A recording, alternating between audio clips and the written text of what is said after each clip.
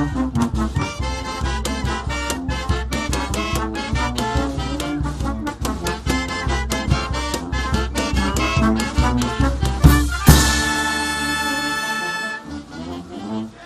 la verdad, señores, que no se vea elevado, porque es la liga de todo, es dicha liga de todo el hijo de la tierra nuestra, una piedra de mi pueblo.